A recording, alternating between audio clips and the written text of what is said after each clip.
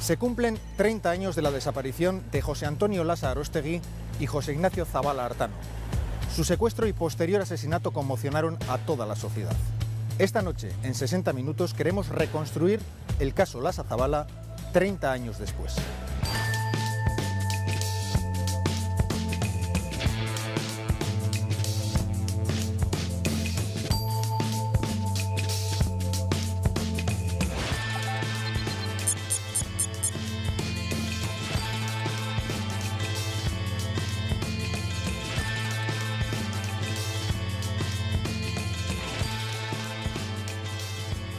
Y aquí en este Petit Bayonne, pequeño Bayona, tenemos algo que in- interpela. ¿Quiénes son Yochi y Yochean? Pues eran dos militantes de ETA, Laza y Zavala. ¿Qué delitos habían cometido? Pues eh, pocos, francamente pocos. Eh, eran de ETA, claramente, pero eran, ¿cómo decir?, soldados rasos, militantes de poco relieve. Y que se sepa, eh, tanto Yoshi como Joshean no habían cometido otro delito que este atraco, pequeño atraco, sin muertos.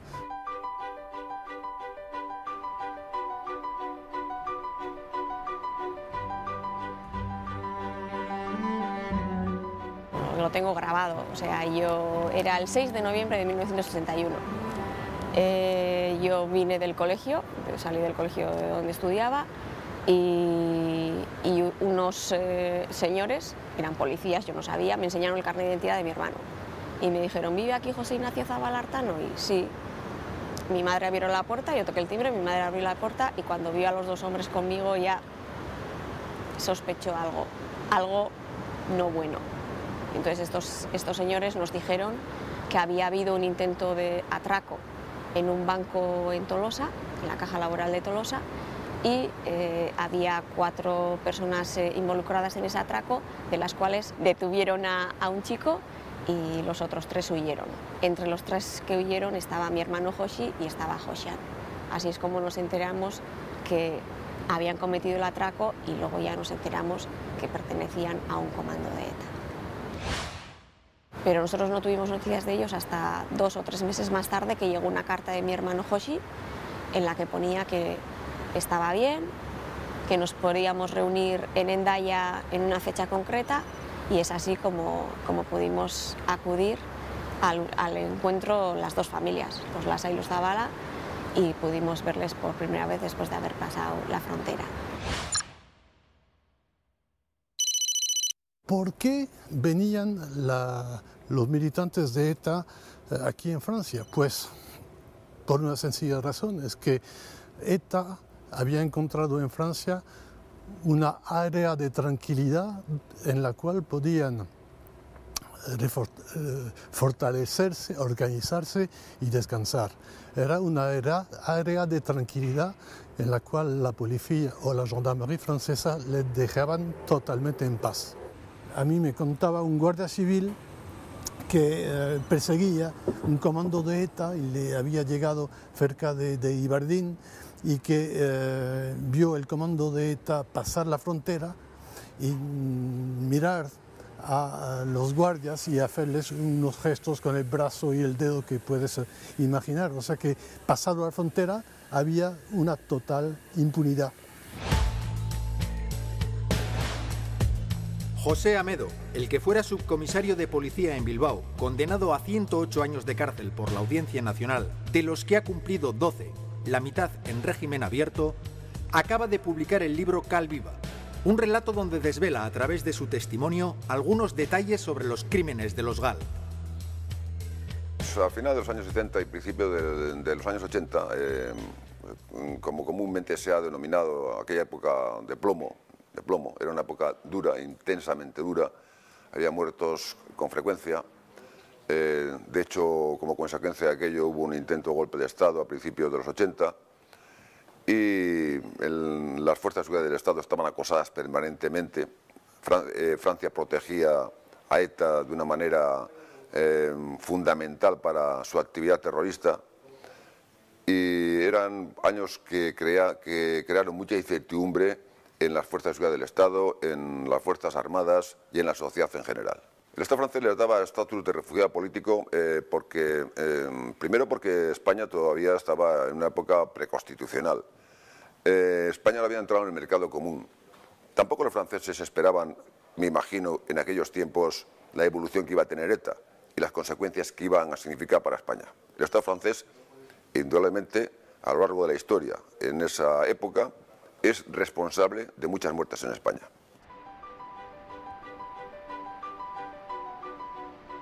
Eh, las visitas, yo recuerdo sobre todo mi madre, eh, la ilusión que tenía, que ponía mi madre a la hora de preparar las cosas, eh, pues ese cariño especial que casi todas las madres hacen, esta comida que le gusta, este pantalón que necesita, esta chaqueta que tal, y luego recuerdo el abrazo de mi hermano y de mi madre. Era un abrazo yo creo que siempre daba, la impresión de que iba a ser el último abrazo, no sé por qué, no sé por qué. Mi madre siempre tenía esa sensación y siempre la misma pregunta, ¿cuándo vas a venir a Tolosa? ¿Cuándo? Y siempre la misma respuesta, tranquila, ma. Todo esto se solucionará y ya verás cómo enseguida, dentro de un par de años, estoy de Udaltaingoa en Tolosa. Aquí estamos en la Rue Peneto, una calle muy antigua de, de Bayona que está situada a unos 100 metros del, río. Callejuela, muy pequeña, una casa antiguísima y estamos delante del número 11. El número 11 pasó algo en aquel año 1983. Aquel día, Laza y Zabala pasaron el día entero con un amigo suyo, unos amigos suyos, unos refugiados, hablaron mucho, hicieron, volvieron a hacer el mundo nuevo, bebieron un poco y a la, a la medianoche, a las 0.15, 0.30, los dos salieron, salieron, por esa puerta y se fueron a eh, un coche que estaba aparcado un poco más lejos. Eh, por el detalle era un Renault, un Renault 4L que pertenecía al amigo que les había acogido y que les prestó las llaves para que vayan a Arcang, Arcang, un pueblo que está a unos 10 kilómetros de Bayona, para seguir la noche, para ir a tomar otros tragos por la noche. El día siguiente, el amigo abrió las ventanas y vio que el coche, el 4L, seguía estando aparcado en el mismo sitio. Entonces bajó, vio que las llaves estaban metidas en el coche, que las puertas estaban abiertas, pues había un gran, gran problema. Laza y Zabala habían desaparecido. En esta calle de Bayona se pierde la pista de Lasa y Zabala la noche del 15 de octubre de 1983. Es un hecho probado que fueron abordados por sus secuestradores cuando se dirigían al Renault 4 que les había prestado un amigo. Mis hermanos los mayores ya, sabían algo, en, la calle les habían comentado algo, lo que pasa que nadie se atrevía a ir a casa a decir semejante noticia. Entonces al final vino una persona eh, que representaba al comité de refugiados y nos dijeron, que desde, desde la noche del sábado al domingo que José y José no habían aparecido, que el coche que iban a coger para irse a unas fiestas estaba aparcado en el mismo sitio, no lo llegaron a coger, en el coche estaba la cazadora de mi hermano Joshi, que todavía hoy la tenemos en casa, y en la cazadora había un mechón de pelo bastante abundante de Hoshi y luego se notaba que había habido un forcejeo fue una noticia que pasó más o menos desapercibida, no adquirió gran relevancia. Y cuando se levantó la sospecha fue 48 horas después, 17 de octubre del año 83. El 17 de octubre es mi cumpleaños. Yo trabajaba eh, en la redacción y se toma la decisión de que hay que irse a Bayona a ver qué es lo que está pasando. Se había convocado una manifestación de etarras, entonces se les denominaba eh, refugiados, y eh, el que fuera el día de mi cumpleaños hace que no me olvide en la vida, lógicamente. Entonces se puso la denuncia, se tuvo que ir a Bayona, interpone una denuncia en Bayona, pero ahí poco caso nos hicieron. Y luego lo que sí recuerdo es que se crearon patrullas, patrullas de familiares, amigos y conocidos, patrullas de búsqueda. Y recuerdo que a la vuelta de una de estas búsquedas, en un control de la Guardia Civil les pararon dispararon a mi hermano el mayor Juan Mari y, a, y al hermano mayor de José, a Miguel Mari. les eh, empezaron a interrogar, les pidieron los papeles, ya sabían de dónde venían, pero les preguntaron, ¿de dónde venís? Y les dijeron, de buscar a nuestros hermanos. Y entonces empezaron a mofarse de ellos, les pusieron una, una pistola en la sien y les dijeron, esos están donde tienen que estar. Sí. El contexto en el que se produjo la desaparición de Lasa y Zabala, yo lo recuerdo como unos años terribles, o sea, terribles por la actividad incesante, la actividad terrorista de ETA. Había años de más de 100 asesinatos, de más de 100 personas que perdieron la vida en atentados terroristas de ETA, por una tensión social y política como consecuencia de la actividad de ETA mm, eh, descomunal, eh, una indignación en los cuerpos eh, y fuerzas de seguridad de Estado notable y, por otra parte, lógica. La primera acción de Logal, en principio, fue el intento de secuestro de, la Reche de cuando secuestra ETA político-militar, octava asamblea, al capitán de farmacia Martín Barrios. el secuestro de la Sezabala fue el día 15 Mientras tanto, también se estaba preparando el secuestro de, la Reche Agoñi. José y José no fueron reivindicados como la primera acción del GAL. Todavía no oíamos hablar del GAL, pero ya inmediatamente a principios de diciembre, con el secuestro del segundo Mare, ya comenzamos entonces a oír las siglas GAL. Y el 19 de diciembre asesinaron a Cachu Oñaderra, que era amigo íntimo de José Josian, que trabajaba en un bar. Y el 28 de diciembre asesinaron a Chapela. Bueno, murió unos días después del intento de asesinato, delante de su hija y de su mujer. Y todos eran conocidos de Hoshi Hoshian. Todo esto ya empiezas a atar cabos y dices, esto no es una casualidad. El error mm, se lo podemos atribuir al responsable directo de, en aquel momento, de la Fuerza de Seguridad del Estado, que era el director de la Seguridad del Estado, que era Rafael Vera. Eh, un error mm, gravísimo fue implicar directamente en acciones de este tipo a miembros de la Fuerza de Seguridad del Estado. Para ese tipo de trabajo, luego se vio que se empleó a otro tipo de gente, pero emplear a los miembros de la Fuerza de Seguridad del Estado fue un error tremendo.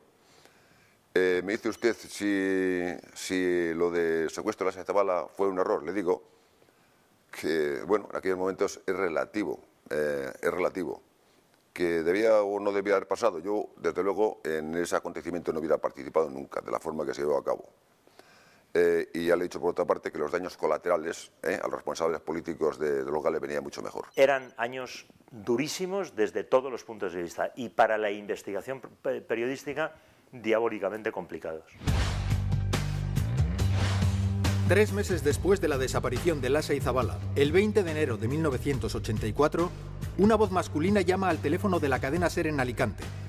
Esta voz le dice a la locutora que coge el teléfono, entre otras cosas, que habla en nombre de los GAL y que ese día habían asesinado a Lasa y Zabala, que habían pedido un cura, pero que se lo habían negado porque no se lo merecían. Recuerdo que mi madre siempre estaba en casa con la radio mi madre estuvo tres meses, enteros sin salir de casa. No tenía fuerzas para salir de casa. Y recuerdo que en una comida nos comentó mi madre, he oído esta noticia en la radio. Y ella misma escuchó que una persona reivindicaba en nombre del GAL el asesinato. Hoy, hoy mismo hemos dado muerte a José Ignacio Zabalartano y José Antonio Lázaro en nombre del GAL en Alicante. Y mi madre escuchó esa noticia, nos la contó y nos dijo, ¿a dónde voy? ¿Qué hago? Yo, por lo que recuerdo, la llamada a la cadena SER del 20 de enero del 84 eh, no fue investigada con especial ahínco. Y no es que yo no lo recuerde, es que si se hubiera investigado con especial ahínco, probablemente se hubiera esclarecido el asesinato. ¿Por qué no se investigó? Está claro porque no se investigó, porque sabían quiénes habían cometido lo que había, eh, eh, la crueldad, la maldad, el, acto que habían cometido, aquel asesinato. Desde que se produce la llamada a la cadena SER de Alicante reivindicando el asesinato de Lasa Izabala hasta que se encuentran los cuerpos, pasa justo un año. El 20 de enero de 1985, un cazador encuentra la fosa y restos humanos esparcidos en un paraje aislado en el término municipal de Busot. La única investigación que se desarrolla es tanto en el juzgado de instrucción de San Sebastián por la denuncia de los familiares que han denunciado la desaparición de Lasa y Zabala y en Alicante eh, por la aparición de esos restos cadavéricos. Pero entre eh, ambas investigaciones no existía en ese momento ningún tipo de investigación. Y esas investigaciones, después de varios años, al final acaban archivándose porque no se puede determinar la autoría de estos asesinatos. Tienen que pasar 10 años desde que se encuentran los restos en aquella fosa de Busot, en Alicante, hasta que alguien los relaciona con la desaparición de Lasa y Zabala. Es en 1995 cuando Jesús García, un comisario de la policía de Alicante, se da cuenta de que estos dos hechos pueden tener relación y lo pone en conocimiento de la Fiscalía. La investigación de la Fiscalía en el caso Lasa y Zabala se inicia en marzo de 1995 como consecuencia de las declaraciones efectuadas eh, por el excomisario Amedo en otra investigación de hechos vinculados a los GAL, en concreto como consecuencia del secuestro de Secundo Marey, donde manifestó en declaraciones periodísticas y luego ratificadas judicialmente que una de las formas de hacer desaparecer a, este, esta persona era enterrarlo en cal viva. La, noticia eh, que se transmitió en prensa despertó la inquietud de un inspector del Grupo de Policía Judicial de Alicante que recordaba que hacía unos años habían aparecido unos restos cadavéricos en una fosa en Busot, en Alicante, de dos personas que estaban todavía sin identificar. Eh, llegó una orden, concretamente el juez Baltasar Garzón y el fiscal Ignacio Gordillo nos convocaban a los familiares, a la Audiencia Nacional, para poder intentar identificar unas fotos con los restos óseos de los que estamos hablando. Fue llegar a una sala de la Audiencia Nacional y extendidas en unas mesas fotos del tamaño de 40 por 50 con unos restos óseos, con unas vendas y con unas mandíbulas y unos cráneos que querían que nosotros los familiares intentásemos identificar con los restos de José y Eso fue así mis hermanos y mis familiares y los, los Lasa que estuvieron presentes salieron de aquella sala llorando y diciendo, ¿qué es esto? Después de acudir a la Audiencia Nacional, Iñigo Iruí nos pone en contacto con Paco Echeverría y Paco Echeverría nos va pidiendo información, información principalmente odontológica.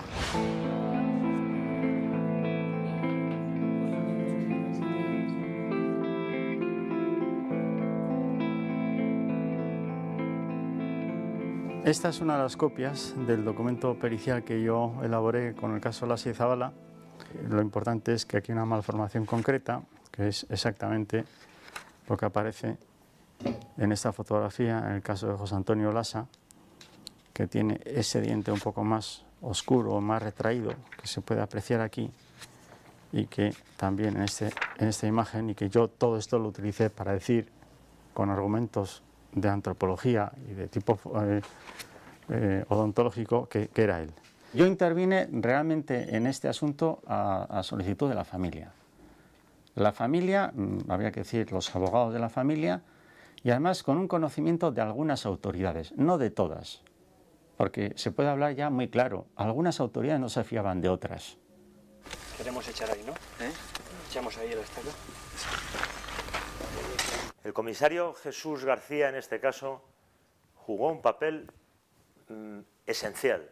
Es quien al leer en el mundo la entrevista que yo le hago a Medio Domínguez y leer la orden que cuenta Medo que recibió, que no cumplió, de asesinar a Marey, a segundo Marey y enterrarle en Calviva, cuando lee eso, Jesús García relaciona y dice los dos cadáveres de Busot, y dice, y tuvo un pálpito, él no tenía información un policía que me dijo que se había formado en Barcelona, un policía que hablaba de democracia, que hablaba y me decía a mí, este asunto hay que aclararlo. Este policía y por teléfono mm, pues estaba de acuerdo en que yo fuera a Alicante, aceptaban por lo tanto esta situación, yo me presenté en Alicante, me vino a buscar al aeropuerto, me fui en el coche de la policía junto con otro compañero suyo y me llevaron al cementerio de Alicante, al depósito de cadáveres. El depósito de cadáveres donde se practicaban las autopsias estaba abandonado para entonces. Años atrás se había construido un tanatorio en Alicante y ya no se hacían las autopsias en ese lugar. Había unas tablas, una motocicleta eh, cuatro cosas tiradas por el suelo y una cámara frigorífica que estaba apagada, apagada y por lo tanto a temperatura ambiente. Entramos en esa cámara frigorífica y estaban dos féretros con los restos. Abrí los féretros y allí había dos esqueletos, en parte semi-momificados, es decir, había tejidos blandos resecos, por supuesto cal y otra serie de elementos, tierra, etc. Yo enseguida miré la dentición y me di cuenta que podían ser ellos. Dice, los miembros inferiores de este cadáver, sus partes sacras estaban... Yo lo que hice en Alicante, que me permitió confeccionar un, un documento, eh, no consistió en extraer muestras, bien que me cuide de ese asunto. Cuando me di cuenta que sí eran, con, cierto, con cierta impresión para mí también, me preocupé de hacer fotos y de grabar las, unas imágenes en vídeo. Yo sabía que este asunto podía ser muy polémico y tenía que cubrirme precisamente en lo que estaba haciendo. ¿Quién me lo ha pedido? ¿Con qué conocimiento de qué autoridad se llegado al sitio? ¿Qué es lo que he hecho? ¿Qué es lo que he tocado? Que estas son cosas básicas en la tarea. Si yo voy a Alicante y digo, creo que no son, ese asunto hubiera quedado parado y nunca hubiera llegado al punto que significó el juicio y las condenas. Pero lo que sí me di cuenta también es que los informes forenses hechos en origen por los médicos de Alicante tenían errores. Era rigurosamente falso que tuvieran fracturas de cráneo en la cabeza por golpes. Lo que tenían eran disparos.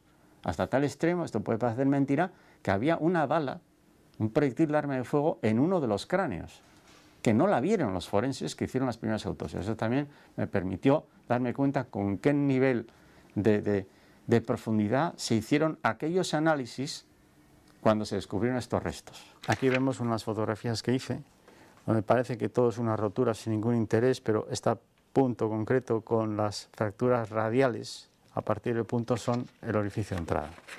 Esto lo vemos con más detalle aquí y sobre todo en esta imagen se comprende. Si nosotros colocamos cada trozo de hueso en su sitio, al colocar esta porción vemos el recorte redondeado y típico como orificio de paso de un proyectil de arma de fuego, en este caso de entrada. Esto no se hizo en su momento, lo que yo entiendo, y no se supo interpretar entonces que eran disparos. Yo comuniqué verbalmente mi opinión, porque estaba previsto que yo simplemente opinara verbalmente, y naturalmente en cuanto yo le dije al abogado de la familia, a la policía y a la Fiscalía de la Audiencia Nacional, que esta vez sí son, Lasa y Zabala, pues se organizó un revuelo de campeonato, y recuerdo que el fiscal Gordillo me dijo, bueno, pues entonces usted tiene que poner esto que me está diciendo por escrito. En un momento determinado se dijo, ¿y cómo es posible que esos restos no se hubieran echado, en realidad, al osario, a la fosa común del cementerio de Alicante? Bueno, eso mm, alguna vez se ha dicho que es porque alguien se preocupó mm, de velar porque eso no ocurriera y además que era uno de los médicos forenses. Yo eso creo que no es así. En realidad esos restos no se echan al osario casi por la casualidad de que ese depósito de cadáveres se dejó de usar. Si ese depósito de cadáveres donde se hacían las autopsias hubiera seguido siendo el sitio donde se practicaban las autopsias de Alicante, no tengo la menor duda de que se hubiera cumplido aquella orden de que esto que está aquí molestando, a ver, por favor, cuándo lo podéis echar al osario. Lo que ocurrió es que se abandonó la instalación, se dejó de utilizar. Nunca más subió ningún forense a ese sitio para hacer ninguna autopsia.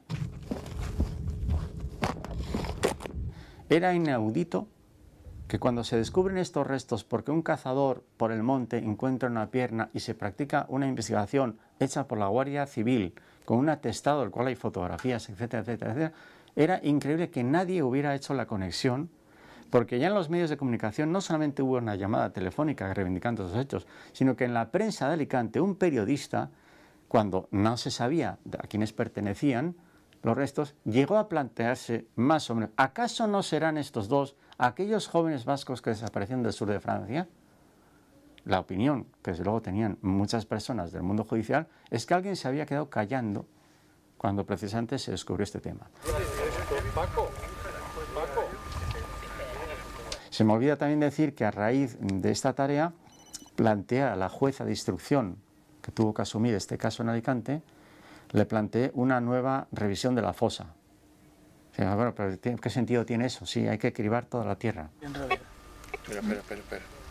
Y mereció la pena porque encontramos algún casquillo más arma de fuego, por cierto, de 9 largo, que es el que utilizan las fuerzas eh, pues, eh, militares o, o policiales, al menos en aquel tiempo, y algunos otros elementos que eran esparadrapo, tiritas, etc. Este es el tipo de calibre que provoca lesiones redondeadas como las que podemos ver aquí en el orificio de entrada y que son exactamente iguales a la que vemos en el caso del individuo número uno. Entonces, esto sería, para el ejemplo número dos, la parte de la cara deteriorada y rota por la salida del proyectil de arma de fuego en una bala que viene de atrás hacia adelante y sale por la zona de la cara. Que es una lesión muy grave, pero que no te deja completamente inmóvil. Tú tardarías un tiempo en morirte o estás sangrando. Lo que ocurre es que luego le dieron un segundo disparo que le atravesó la cabeza. Se considera el secuestro de Lasa Zabala aquí en Bayona la primera acción de los después llamados GAL, Grupos Antiterroristas de Liberación, que operaron entre 1983 y 1987, llevando a cabo la llamada Guerra Sucia contra ETA.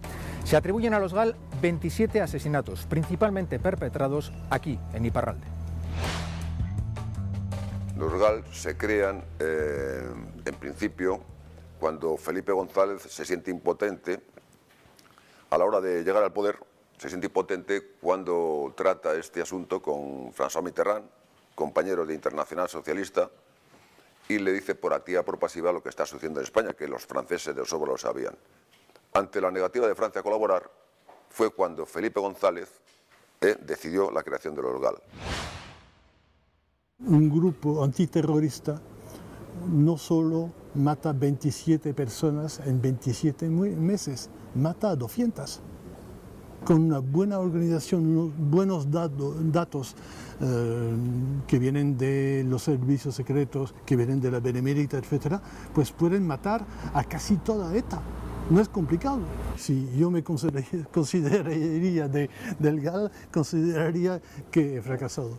El GAL no, lo, no, se, creó, no se creó para acabar con ETA tiros. Eso, no, eso es inimaginable, ¿no? Eh, el GAL Felipe González lo creó, dio la orden de que se crease, para sensibilizar al gobierno francés trasladándole el problema a su, a, su zona, donde a, santuario, a Santuario de Terra. Si les traslada el problema y crea inestabilidad en la zona vasco-francesa, lógicamente se iba a prestar a colaborar. Como así sucedió, el GAL al final cumplió su función. Ética y moralmente, ¿es correcto o no es correcto? Pues cada uno que piense, que piense lo que quiera. Si van a atentar contra algún miembro de que estaba en algún lugar y había algún ciudadano francés y caía en el atentado, a los responsables políticos les venía mejor ese, ese daño colateral porque implicaba la sensibilización del País Vasco francés que reclamase a su gobierno que expulsasen a los etarras del territorio. Con lo cual, la chapuza era lo que más rentable le salía a los responsables políticos del GAL. Y nada más llegar al poder, Jacques Chirac, a principios del 86, le pidió urgentemente una reunión a Felipe González en la cual le regó que cesasen las, las actividades del GAL, que Francia iba a colaborar con España en la lucha antiterrorista. En realidad hubo tres GAL lo que eh, después hemos comúnmente denominado el GAL azul, la policía, el GAL verde, la Guardia Civil y el GAL marrón, los servicios de información.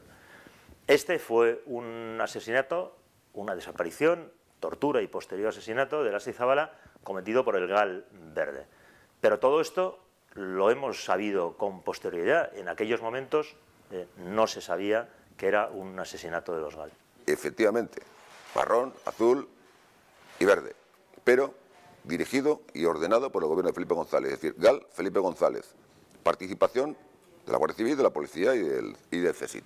Recuerdo, en mi caso personal, el de otros colegas, no muchos, que investigamos a los GAL, éramos objeto del reproche de la sociedad española, de la sociedad por la calle, decían, ya está bien, ya está bien, del gobierno del gobierno que nos persiguió, nos acosó, nos espió, nos injurió, nos calumnió, de buena parte de la clase política mm, de la oposición, de entonces Alianza Popular, es decir, fue un clima para realizar esta investigación de una soledad mm, terrible. Y lógicamente las fuerzas del Estado seguro que aplaudían cuando había acciones y bajas en Francia de miembros de ETA. Pero también le voy a decir una cosa, yo he visto en Bilbao a gente de diversos partidos, cuando se enteraron de que había sucedido algo en Francia, eh, también lo aplaudían, ¿eh? Lo aplaudían. Gente de diversos partidos, gente de la calle. Tenga usted en cuenta que, tenían que pagar el impuesto revolucionario, que ellos vivían las consecuencias eh, de las acciones de ETA. Al pueblo vasco siempre le ha sobrado ETA. El pueblo vasco se, mm, podía, puede llegar eh, sin ETA a cualquier sitio. Siempre ha sobrado. libertad! libertad! libertad! libertad! Yo he visto morir en mi entorno a mucha gente. A mí mismo, la primera vez que me quiso asesinar ETA fue en el año 73, estaba y luego en el año 81, en el año 87, en el año 88. Las fuerzas de seguridad en aquel momento vivían una situación eh, de, incertidumbre, de acoso, de miedo. Eh, no se veían, la justicia no funcionaba como funciona ahora. Las fuerzas de seguridad tenían pocos recursos, los vehículos que llevaban no estaban blindados, estaban sometidos, no sabían si iban a estar vivos dentro de un rato o no evidentemente, cuando surge el GAL, a las fuerzas de seguridad del Estado les dio una, una, una, emotividad especial, le generó una emotividad especial. Se sintieron defendidos, por lo menos decían, a ellos también les pasa lo que nos hacen a nosotros. Pero eso era así en aquellos momentos. Y es un, sentido, es un sentir humano, lógico y fácil de entender. ¿Que ética y moral no debía haber pasado nunca eso? Pues posiblemente, pero como pasaba lo que pasaba, pues sucedió lo que sucedió. La sociedad española y la clase política, y a mí esto me parece especialmente repugnante, toleró, vio bien, animó que mataran etarras. Cuando la sociedad española se mm, indigna y cuando la clase política, en este caso el Partido Popular contra el Partido Socialista, empieza a utilizar como herramienta de crítica política al PSOE la guerra sucia es cuando se descubre que además de matar, robaron. El hecho de que además de matar, desde el gobierno de González, se robara el dinero de los fondos reservados, es lo que generó la reacción. A mí esto desde un punto de vista moral, ético, me parece de una repugnancia insoportable. Funcionarios públicos, con dinero público y con conocimiento de las autoridades políticas en ese tiempo del Partido Socialista, se dedican a secuestrar en otro país soberano a unos ciudadanos para traerlos aquí, torturarlos, matarlos y enterrarlos en cal hacerlos desaparecer. Es que no cabe más. Ya, ya no hay un ejemplo mm, criminalmente más grave que este. La creación del GAL es algo desproporcionado, idiota. Eh, es una idea surgida en unos eh, dignitarios del gobierno y de la Guardia Civil para acabar con ETA. Naturalmente no se puede acabar con ETA que cuenta en aquella época algo como 800 o 1000 militantes poco más o menos definidos, pero ETA eh, es la mayor época de ETA, es un fenómeno eh, peligrosísimo. Pero pensar que creando una unidad para combatir de manera sucia a ETA es una imbecilidad total. Gal va a vivir 27 meses y va a matar 27 personas. O sea, no es algo, una anécdota, es algo que eh, envenenó las relaciones entre Francia y, España y no impresionó mucho a, ETA, sino que eh, dio al poder eh, español la ilusión de que tal vez con este método iban a acabar con ETA. Pero ¿quién mandaba a llegar? Pregunta sin, sin respuesta. Yo, claro, se dijo mucho, se habla mucho, pero nunca se pudo probar que eh, el jefe del GAL era el propio Felipe González. Yo no creo. ¿Organizó usted el GAL, señor González?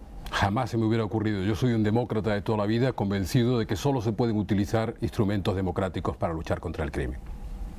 ¿Autorizó usted la guerra sucia contra ETA? Nunca autoricé ni nunca encubrí. Usted, por tanto, no tiene absolutamente ninguna pista, ningún dato que pueda tener, vamos, no sabe absolutamente nada del GAL, absolutamente nada. No, no, yo sé lo mismo que sabe usted y lo mismo que sabe mucha gente porque se ha informado mucho. Pero no más. Y, pero ¿por qué voy a saber más? ¿Qué es lo que tienen que saber los ciudadanos? ¿Es que el gobierno está detrás, como se dice, del GAL o como he oído decir a un señor que espero que asuma su responsabilidad? Que espero que la asuma seriamente diciendo que yo soy el señor X. Lo que tienen que saber los ciudadanos es que eso es falso, radicalmente falso. Me he sentido abandonado por la gente, no, por la gente no, por los responsables políticos del gobierno de Felipe González. No, nos, no es que, no yo, ¿eh? Eh, no es que me haya sentido abandonado, nos hemos sentido abandonados, utilizados, traicionados, utilizados y lógicamente nos han querido, eh, y lo han conseguido, ¿eh? situar concretamente a Domínguez y a mí, que Domínguez en esto no pinta nada, porque era un simple traductor, era un recién ingresado a la policía y no pinta nada. Se le aplicó una sentencia que jamás le hubiese correspondido contando la verdad. Nosotros no nos defendimos. No nos defendimos porque en principio teníamos un sentido de Estado quizás malentendido. Los responsables políticos del lugar, desde Felipe González al señor Berea, al señor San Cristóbal, nos convirtieron en cabeza de turco para tapar las responsabilidades políticas del gobierno de Felipe González. Así de sencillo.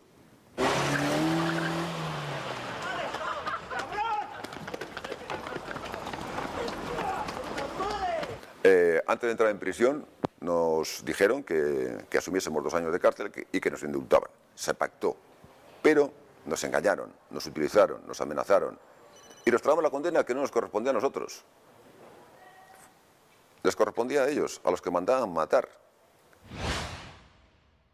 El asunto Lasa y Zabala se esclarece el día en que yo le hago en el Hotel Eurobuilding de Madrid una entrevista a José Amedo y Michel Domínguez. Yo estuve tres días encerrado con José Amedo y Michel Domínguez grabando, me parece que fueron 59 CDs eh, de conversación con Amedo Domínguez, que fueron después una entrevista de 12 capítulos publicados en el periódico El Mundo. Creo que esto, este detalle no lo he contado nunca. Yo no le creí a Medo y le trasladé, no recuerdo la literalidad. Decir, yo creo que esto no se lo va a creer nadie, pero oye, ya tú, es una entrevista, yo lo voy a publicar tal cual lo digas. Y me dice, te estoy hablando de los responsables del Ministerio Interior, del señor Baranovo, del señor San Cristóbal, del señor Damborenea. Ellos nos dijeron, matad a Segundo Marey y enterrarle en Calviva y los policías que habíamos hecho ese secuestro nos negamos. Y yo cuando terminé esa entrevista dije, verás tú, cuando se publique esto, la gente va a decir, este Amedo, vaya películas está contando aquí con tal de vengarse y tal. Pues se demostró que era verdad.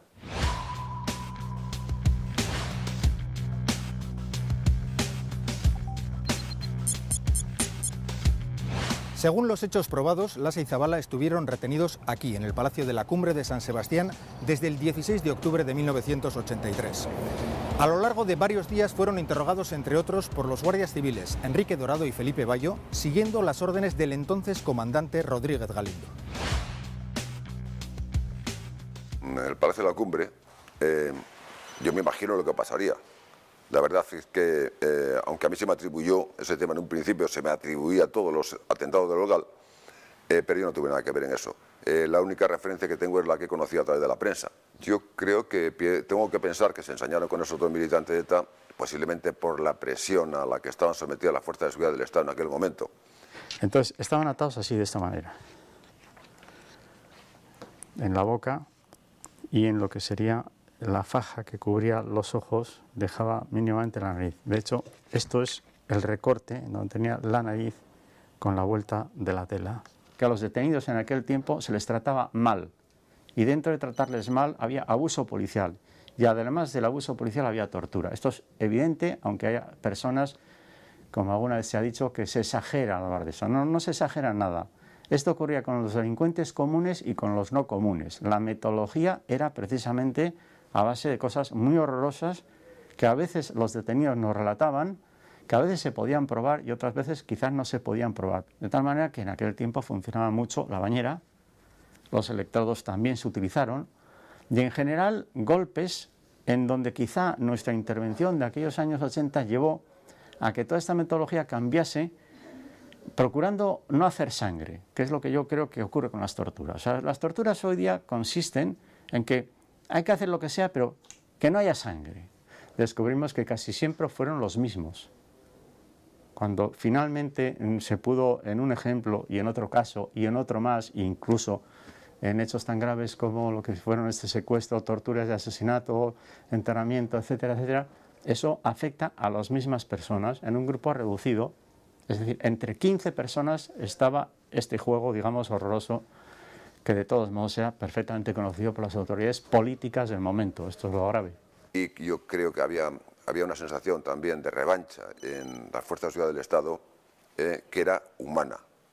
Son hechos que no se debían haber eh, producido nunca, pero ahí estaban.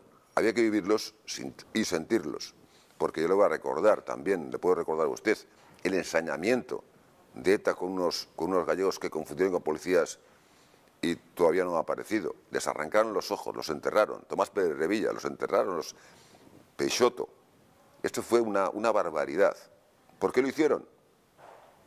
Bueno, hay una cuestión que ha funcionado a lo largo de mucho tiempo que viene de las novelas negras, que es la idea de que la cal hace desaparecer los tejidos, y es todo lo contrario. La cal se ha utilizado históricamente para evitar la propagación de los gérmenes y por lo tanto las enfermedades infectocontagiosas. Por eso se ha utilizado en muertes epidémicas, en enterramientos y demás. Eh, de hecho, la cal eh, lo que hace es absorber el agua y tiende a momificar los tejidos. Si tenemos en cuenta más que se trata de una muerte con shock hipovolémico, es decir, se ha perdido sangre, la pérdida de volumen de sangre más la cal lo que hacen es deshidratar bruscamente y resecar los tejidos y por lo tanto casi preservarlos eh, de manera perfecta. Aunque los años transcurridos son pocos y en un terreno tan seco como era el de Alicante se hubieran mantenido durante muchísimos, no sé, decenas de años en condiciones casi equivalentes. No tenemos la evidencia de qué procedimiento tortura se produjo, pero sí creo que este tipo de tortura fue con mucha sangre o con mucho daño y muy brutal en la que el momento final es decir, bueno, mejor ya, pues incluso los vamos a matar. Porque si no hubiera sido tan grave las lesiones como que no se nos olvide que en aquellos tiempos hubo gente que fue secuestrada y apareció viva al cabo de cuatro o cinco días con una serie de golpes. Yo los he visto no me estoy inventando nada, es que parece que a veces nos olvidamos de los casos. Hubo gente que desapareció y cuatro días más tarde desapareció. Y tenía un hematoma en el ojo, la habían quemado con un cigarrillo y unas heridas no sé dónde. En fin, yo hice las reconstrucciones comprendiendo que eran dos disparos, uno de los cuales atravesó por debajo de la cabeza, a nivel de lo que puede ser el, cuello, la parte alta, casi así se puede decir, este recorrido. Es un primer disparo que es mortal, pero que no mueres de forma inmediata, porque eh, este, este, disparo lo que hace es inundarte la vía respiratoria y seguramente y de forma inmediata le dieron un segundo disparo en la cabeza que ya le dejaría totalmente inmóvil. Son disparos desde detrás y además teniendo la faja puesta sobre la zona de la cabeza porque hasta incluso el plástico de la cinta de empalme y la manta está taladrado por el paso de los proyectiles.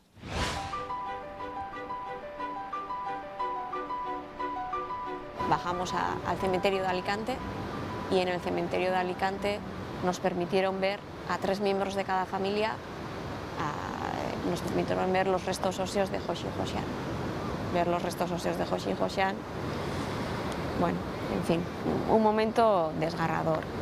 Y piensas, ¿cómo se puede ser tan cruel para tener a dos jóvenes de 20 y 21 años durante tres meses torturándolos sin darles alimento.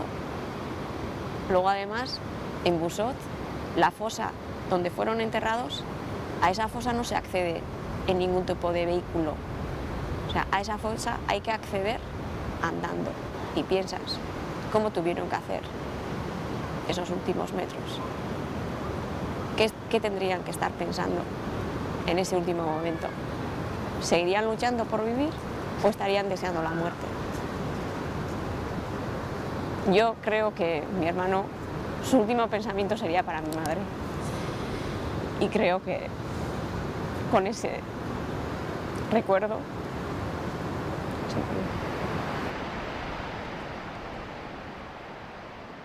Y yo me acuerdo mm, cuando hablé con las madres antes de ir a Alicante y en el tiempo posterior, y yo creo que esto mm, pues es una tragedia horrorosísima en la que seguramente estas madres han sufrido más pensando cómo sería el nivel de torturas que padecieron que no ese momento incluso, entre comillas, de alivio en el cual se te produce un disparo en la cabeza y a partir de ese momento dejas de sufrir.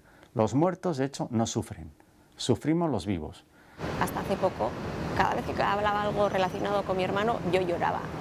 lloraba de la emoción, lloraba de, la, impotencia, lloraba de la indefensión suprema que hemos tenido que sentir durante tantos años, lloraba del maltrato que hemos tenido que recibir por todos los lados, institucional, policial, judicial, todos los ámbitos. Quiero saber la verdad y quiero que se sepa la verdad y que se vea la verdad. Hoy todavía yo no concibo como el, el nivel de maldad que hay que tener para torturar a un ser humano.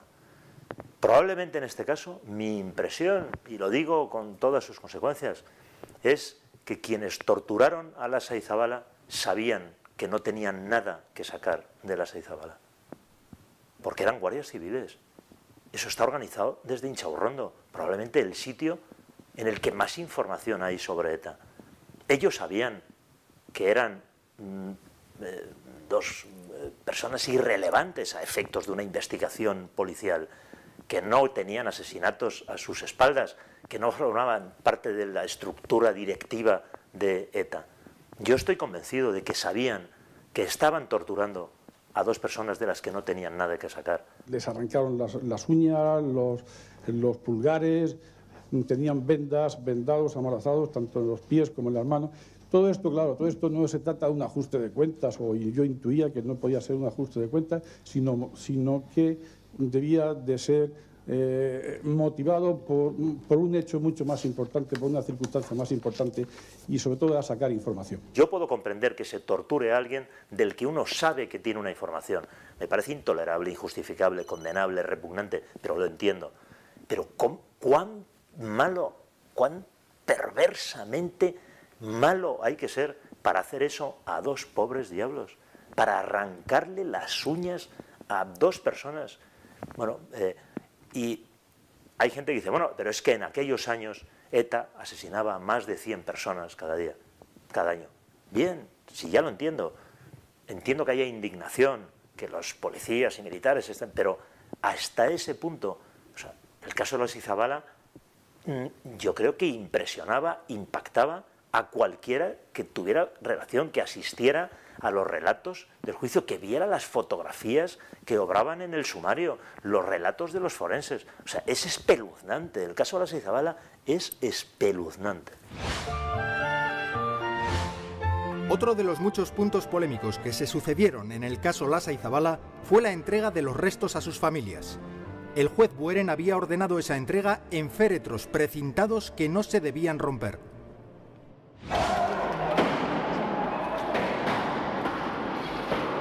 Nosotros eh, recibimos una orden judicial del juez Bueren diciendo que eh, los restos óseos de José José llegaban al aeropuerto de Fuenterrabía y podíamos ir al aeropuerto de Fuenterrabía los familiares. Fuimos al aeropuerto, nos encontramos con una inmensa masa humana de gente, de gente que intentaba apoyarnos y, que quería acompañarnos en nuestro dolor. Gente que fue apaleada por la Guardia Civil, por la Policía Nacional, simplemente por intentar clamar justicia.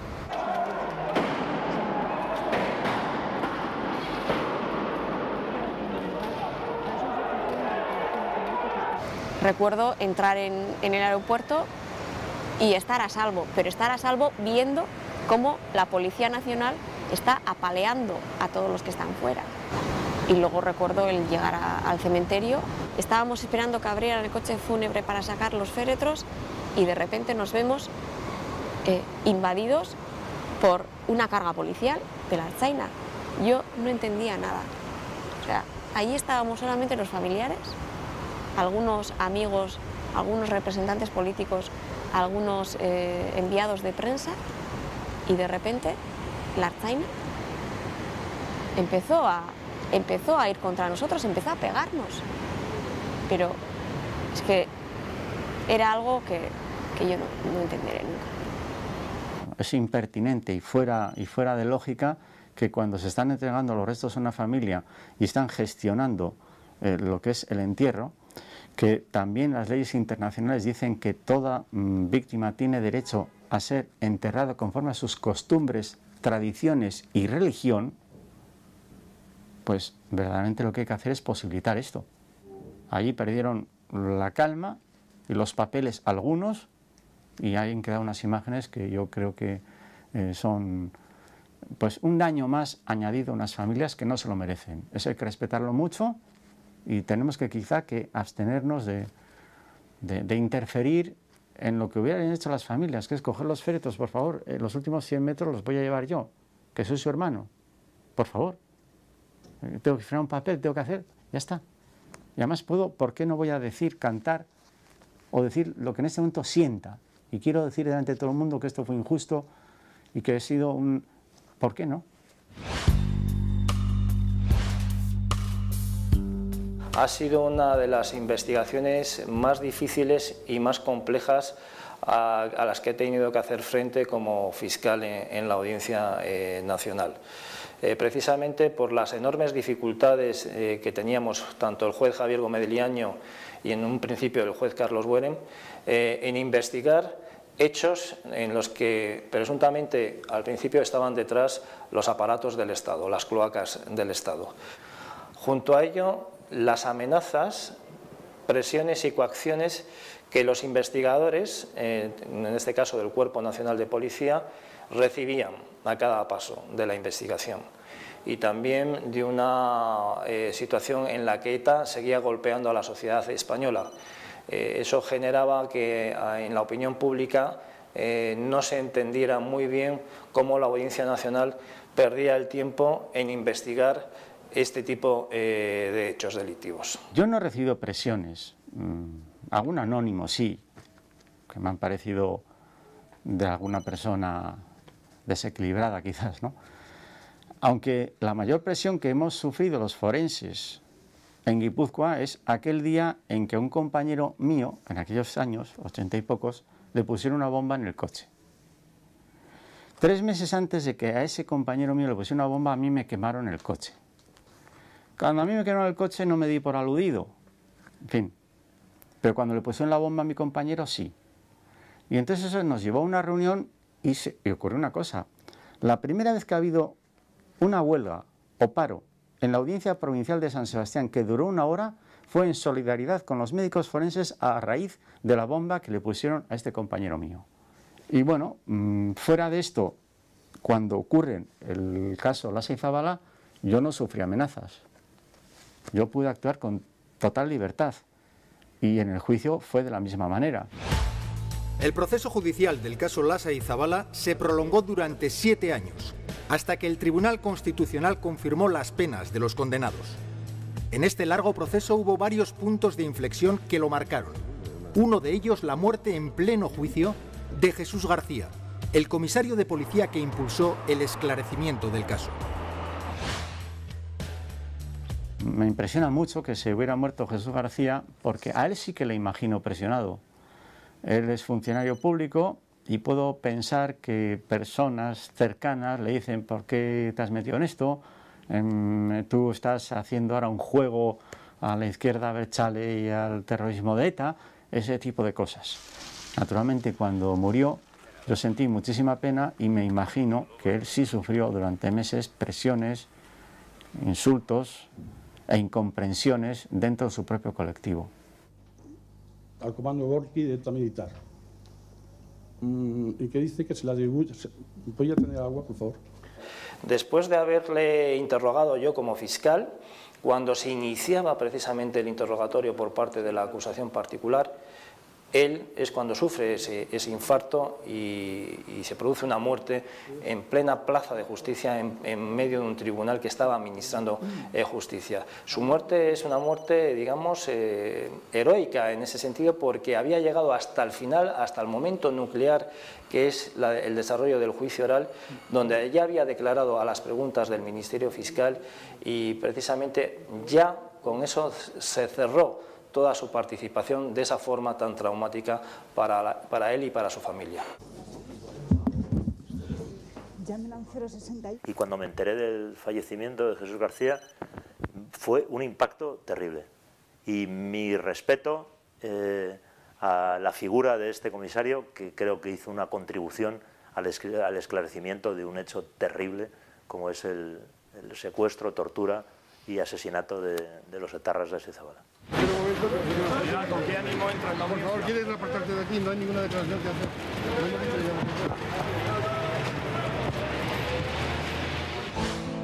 El proceso judicial del caso Lasa de Zabala ya ha pasado a la historia como el juicio de las retractaciones. Y es que cuatro testigos y uno de los imputados, el exguardia civil Felipe Bayo, se retractaron de sus declaraciones. Con esa declaración lo que estoy haciendo es rechazar las anteriores. Eh, Felipe Bayo efectuó diferentes declaraciones eh, durante la fase de investigación de, estos hechos. En un principio, él negaba su participación en los mismos, pero posteriormente, cuando íbamos avanzando en la investigación, cuando íbamos recogiendo pruebas y cuando él presumía eh, que al final solamente iban a cargar con, con la culpa de estos asesinatos y de este secuestro solamente él y su compañero Dorado es cuando decide prestar eh, una declaración eh, confesando su participación y la de terceras eh, personas.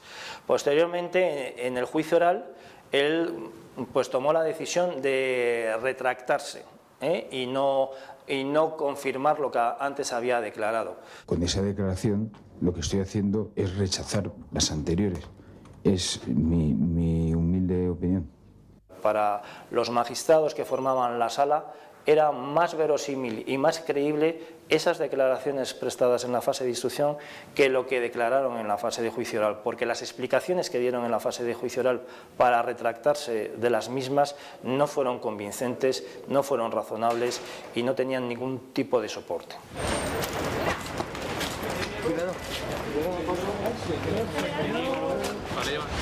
Eh, recuerdo las caras de Galindo, las caras de Dorado, de Bayo, de Vaquero, de Argote, de Vera. Recuerdo sus familiares. Claro, son personas que tienen familia, que tienen familia que les quiere. Y es normal. Recuerdo su chulería, su prepotencia, su soberbia, cómo nos miraban. De que con seis hombres como ellos se hubiera podido conquistar América del Sur completa. En este caso se demostró con certeza y con absoluto rigor científico qué es lo que se hizo. Eso es lo que tiene que prevalecer y no todas las mentiras y las artimañas que luego tuvimos que escuchar en el juicio. Jurando por Dios y por mi honor que nunca he ordenado semejantes cosas, ni el secuestro, ni las torturas, ni el asesinato de estos hombres. Y al margen de ese juramento afirmo mi certeza absoluta de que mis hombres también son inocentes. Estoy orgullosa de ser la hermana de José Zabala. No digo que esté orgullosa de que mi hermano perteneciera a ETA, pero no podría decir lo mismo, no podría sobrellevar, por ejemplo, el ser hija de un torturador de Ichaurrondo, como Galindo. Reconozco que tiene que ser muy duro ser hija de Galindo. Yo quería, mm, de alguna forma, transmitir un mensaje a, a los ciudadanos vascos y y desear, por encima de todo, porque yo me siento parte de allí,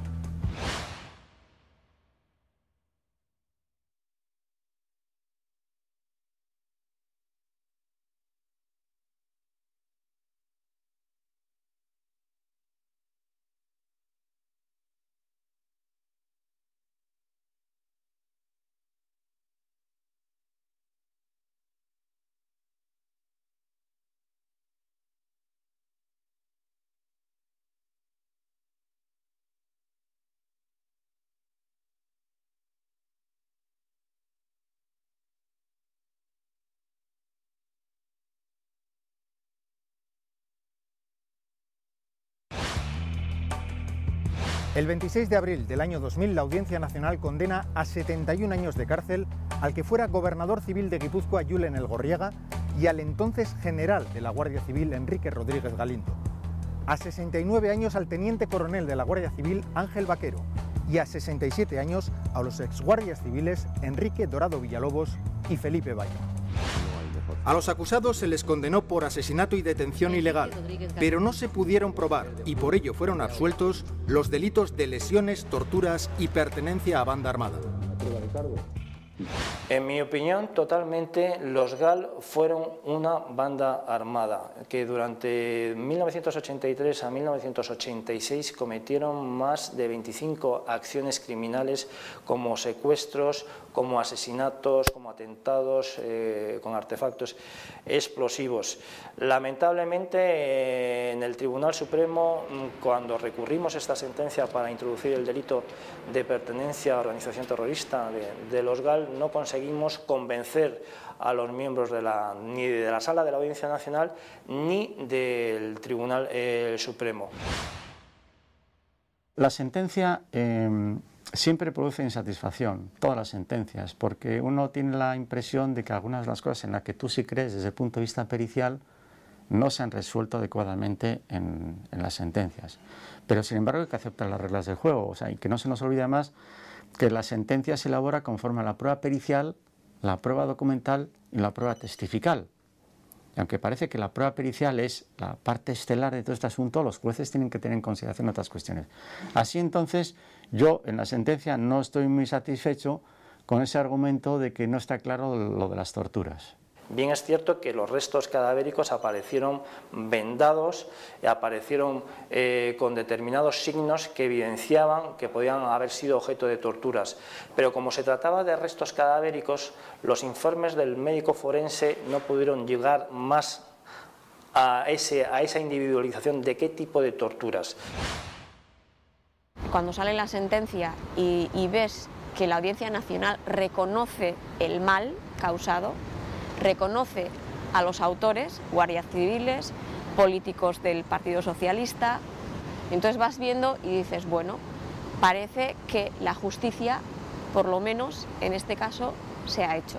Yo no quiero que sea condenado a nadie sin pruebas. O sea, yo por eso digo siempre que una cosa es la justicia y otra, digamos, en asuntos como este, la parte política. Yo ahí no tengo eh, la más mínima conmiseración en la censura política del gobierno, que es quien organizó, quien decidió que se iba a actuar de esta forma. No tengo ningún criterio. Y de eso el primer responsable se llama Felipe González Márquez. Y de ahí para abajo, todos. El señor Barrio Nuevo, el señor San Cristóbal, el señor Vera. Es decir, todos ellos tienen una responsabilidad que les perseguirá durante toda su vida. Aun y todo siempre te queda la sensación de que no se ha hecho justicia porque muchos de los culpables y de los responsables no están sentados en el banquillo. Y muchos de los culpables y de los responsables están hoy en día ejerciendo su profesión. Sin duda alguna, la investigación y posterior sentencia del juicio por la desaparición, secuestro y asesinato de los señores Lasa y Zabala fue un verdadero triunfo del Estado de Derecho y, como he dicho anteriormente, una de las páginas más brillantes que ha escrito el Poder eh, Judicial. ¿Qué injusticia, qué ley inhumana puede permitir que un asesino, torturador, secuestrador, como el, el ex guardia civil Galindo, Rodríguez Galindo, y otros muchos como él, pueda estar libremente en su casa después de haber sido condenado una y otra vez por diferentes tribunales a 75 años de cárcel. A mí que me expliquen qué ley inhumana permite eso. Los indultos posteriores, más de lo mismo. Eh, los gobiernos son lo que son. Los gobiernos se cubren los unos a los otros todas sus actuaciones delictivas indultos en los casos relacionados con los GAL, indultos en los casos de corrupción. Que le hayan concedido la libertad condicional a Rodríguez Galindo me parece justo porque ha pasado el tiempo y lo ha decidido el mismo juez que, le concedió en su momento a Bolinaga, al, miembro de ETA, le concedió también la libertad, la libertad condicional, con lo cual, si lo ha concedido un juez, pues eh, creo que se acopla perfectamente a la ley es muy difícil trasvasar aquellos momentos a estos y sentir lo que se sentía entonces, o al revés. Pero yo solamente puedo responder a una cosa en este sentido. No volvería a implicarme en una situación de este calibre. Yo no tengo que perdonar a nadie. Quien ha cometido delito, quien ha secuestrado, quien ha torturado, quien ha asesinado, ya sabe qué es lo que ha hecho se podrá retractar, incluso se podrá arrepentir, pero yo no tengo que perdonar, porque el hecho de que yo perdone o no, ¿le va a servir para algo? No creo. Él tendrá que llevar, sobrellevar sobre su conciencia lo que ha hecho. Yo quería mm, de alguna forma transmitir un mensaje a, a los ciudadanos vascos y, y, desear, por encima de todo, porque yo me siento parte de allí, eh, que estos hechos, tanto los que cometió ETA como los que cometió el GAL, que los tengamos siempre en el, recuerdo para que eh, nunca en el futuro se puedan producir hechos de esa naturaleza por, por ninguna de las dos partes.